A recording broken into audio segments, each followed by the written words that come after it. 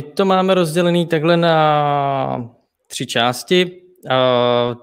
Kluci nás vlastně představili, já jsem Martin Kolář a kolega je Marek Pentoň a my jsme si připravili takový povídání o GTM. A o čem to dneska bude? Řekneme si, co je to GTM, čemu slouží na tom marketingu a jak si to GTM případně dá zlepšit. Ukážeme si nějaký příklad, dva, jak na to vyjde čas. No, a já když jsem se připravoval na tuhle přednášku, tak jsme se zeptali pár frontendiáků, co je GTM, a vyšlo z toho, že jedna část lidí si myslí, že to je uh, přesně toto, a že z toho dobrýho webu se stane ten špatný web.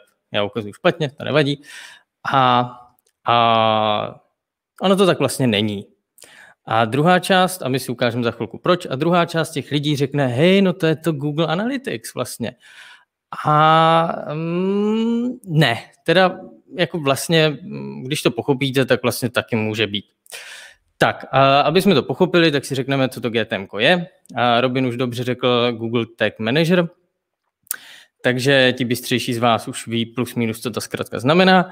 A když si rozebereme ty jednotlivé slova, tak Google je jasný a text si necháme na potom. A manager dělá to, že ty jednotlivý tagy nějakým způsobem podle nějakých pravidel aktivuje, deaktivuje. A to je vlastně ten manager. A teď se půjdeme podívat na ten eh, tag. A já bych ze svého frontendového pohledu řekl, že tag je spíš takový, spíš jako code nebo JavaScript, ale chápu, že prostě ten název by byl divný GCM, GJCM, no dobrý, tak prostě GTM, OK. A co to teda ten tag je?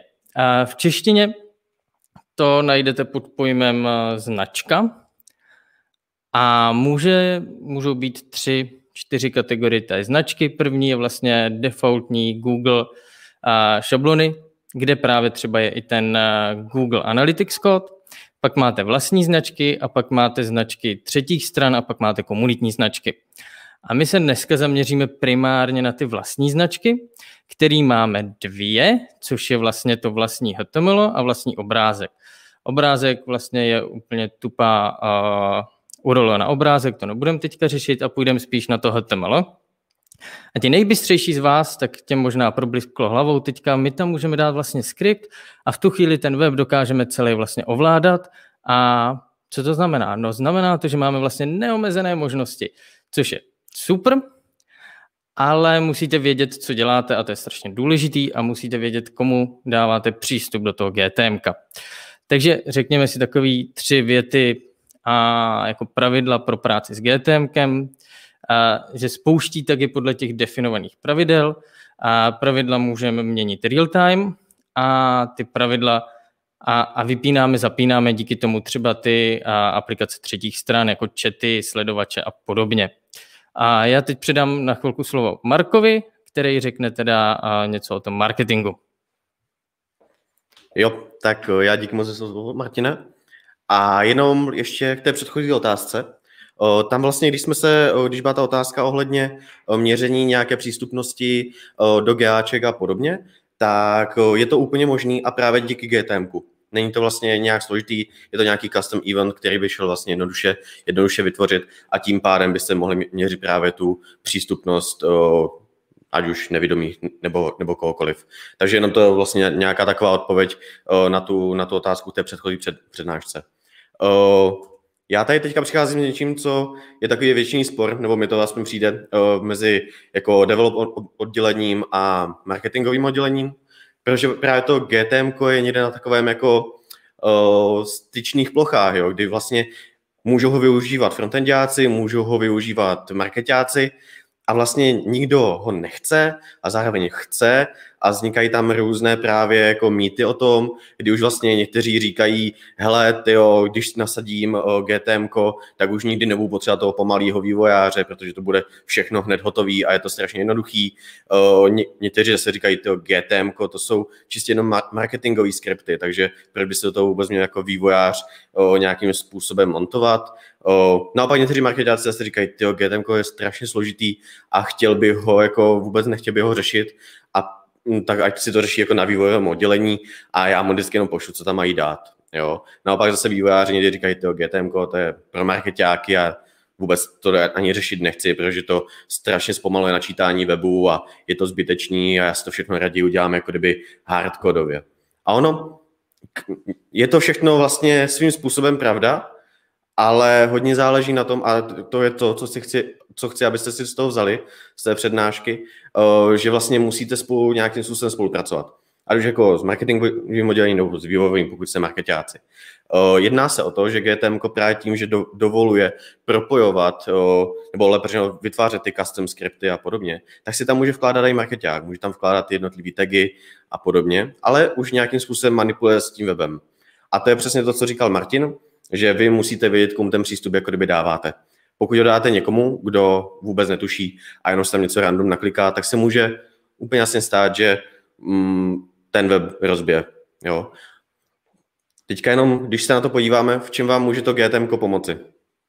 Ono opravdu uspoří spoustu času. Jo, když se na to podíváme z toho pohledu, že já třeba jako marketák budu chtít dát nějaký konverzní kód na web nebo cokoliv, tak by jsem běžně šel jako kdyby za frontendákem, za vývojářem a řekl mu, hele, tady ten script tam potřebuju.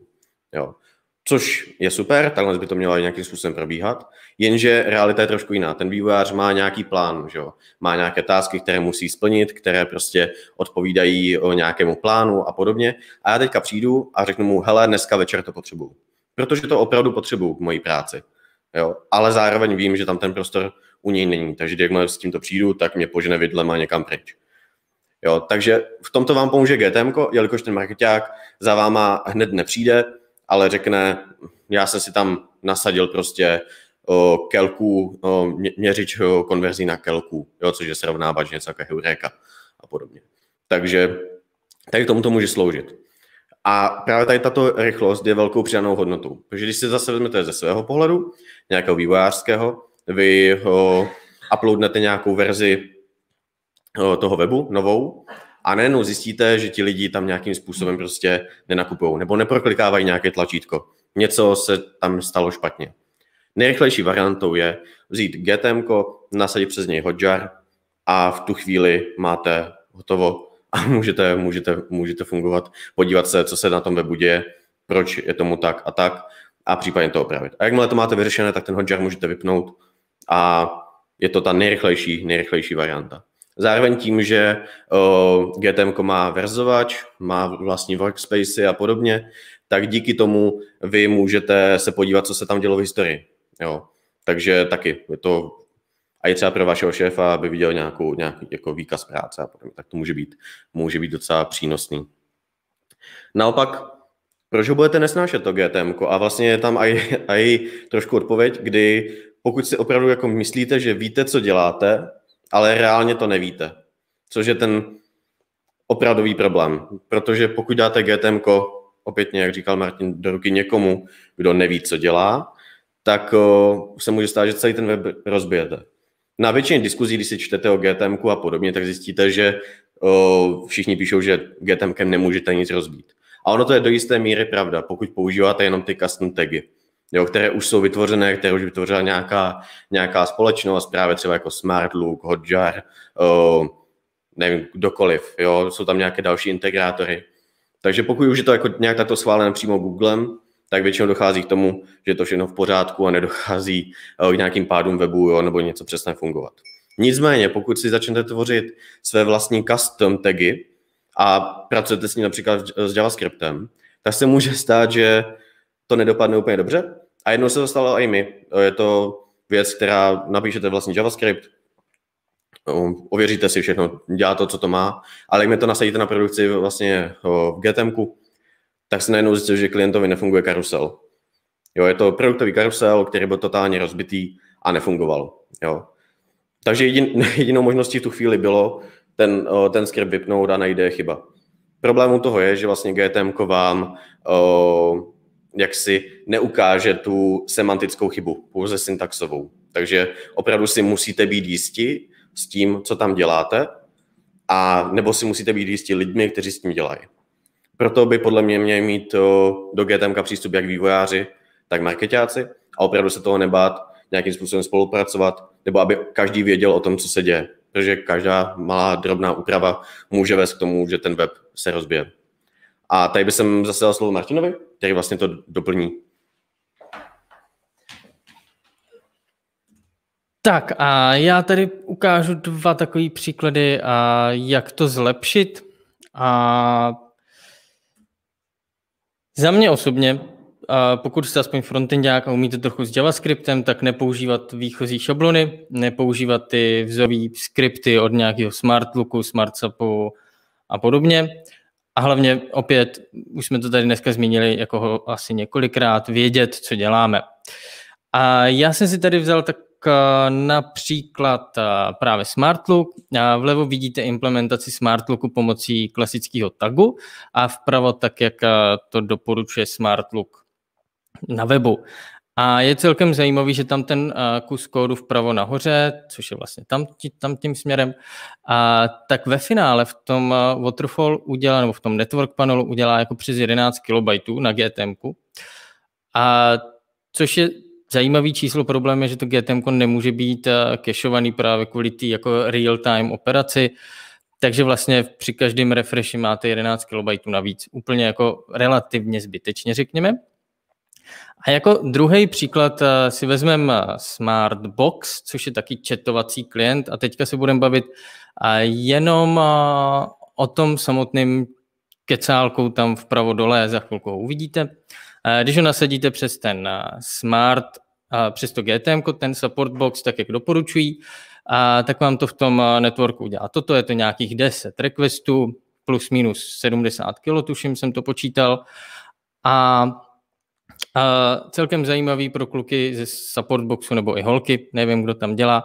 A zamyslete se nad tím, jak to funguje, protože ten entry point, který se stahuje jako první, je vlastně jenom tenhle kus kódu a vlastně ten stahuje jiný kus kódu, takže to jako hodně stupidní. A kdyby to stahovalo rovnou ten druhý, tak se vlastně nic nestane. No, nicméně, půjdeme dál.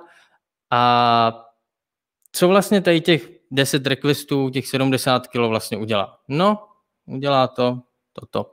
Udělá to to, že někde v rohu uvidím nějakou bublinku, která vlastně většině lidem nic nedělá. A to není asi úplně dobrý. Tak se na to pojďme podívat, jak by to šlo udělat jako strašně fajnově, hezky a svižně v pár kilobajtech, které můžou být zakešovaný a můžou fungovat všude. Tak a napíšem si pár javascriptových funkcí. Jako první tady máme nějaký template pro obrázek, kde se nastaví nějaký alt, width, height, nějaká pozice vpravo dole v rohu. A v další funkci a nastavím nějaký source toho obrázku, a vložím ho dolů dorožku, aby tam byl úplně stejně vlastně, jak má být. A dám tam, a dám tam nějaký listener na, na kliknutí, kdyby náhodou člověk kliknul. V další funkci si nastavím, když na to člověk klikne, aby se tam objevil nějaký loader, aby nám to dělalo, hej, ano, něco dělám, super. A zač, zapnu ten uh, init toho support boxu ten init toho support boxu potom vypadá takhle, je to úplně stejný, jak doporučuje support box. Jediný, co jsme tam dali navíc, je ten window local storage eh, set item, kde vlastně nastavujeme, že po, otevře, eh, po načtení toho support boxu má ten support box být otevřený. A takhle to potom vypadá a my už jediný co, tak musíme tady ty funkce zapínat podle toho, jestli byl v minulosti už ten support box otevřený nebo zavřený, aby to právě udělalo přesně tady tenhle stav. A kdy já kliknu, načte se mi support box, otevře stránku, obnovím, hnedka se mi načte support box, který zůstane otevřený, když ho zavřu, obnovím stránku, už tam mám zase jenom to řešení s tou ikonkou, takže zbytečně nezatěžu network, procesor a podobně. A úplně stejně tady ten kód, který jsem teďka napsal, tak můžete vzít jedna ku jedný a vložit ho do toho GTM jako vlastní tag. Jediný co, tak vás eh, GTM upozorní, že já používám LED v JavaScriptu a to není úplně syntakticky správně, protože tam není žádný transpilátor, takže musíte LED nahradit za var. A takhle jste najednou dostali ten support box do GTM eh, v relativně lepší implementaci, která nebude brát eh, tolik JavaScriptu. A pokud vás zajímá, jak to zlepšit ještě víc, tak se můžete přihlásit na naše webináře, který budeme pořádat s Markem. Budou tři GTM obecně pro širokou veřejnost, kterou prostě zajímá tvorba webu. pak jeden speciál nebo nadstavba pro marketáky a jedna nadstavba pro frontendáky. Najdete to na adrese gtmškolení.cz a my se budeme těšit a to je za nás všechno. A Robine, dáme jednu otázku klukům. Tak je tady jediná, která má nejvíc eh, hlasů a to je, jestli se dá uh, GTM nějak rozdělit, jestli se dá rozdělit GTM kontejner, protože se cpe hodně vysoko do vody a brání často vykreslování, zvlášť když to přes MKT řeší AB testy. Vůbec nevím, že se tam mluví.